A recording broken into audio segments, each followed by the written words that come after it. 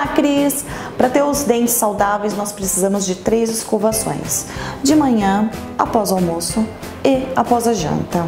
Junto com as escovações, o uso do fio dental também. E não esquecer da limpeza da língua. É importante ir ao dentista a cada seis meses para fazer uma avaliação e uma limpeza.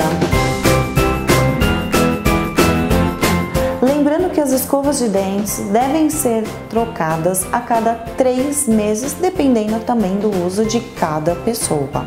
Sou a doutora Jéssica Grotto e até semana que vem.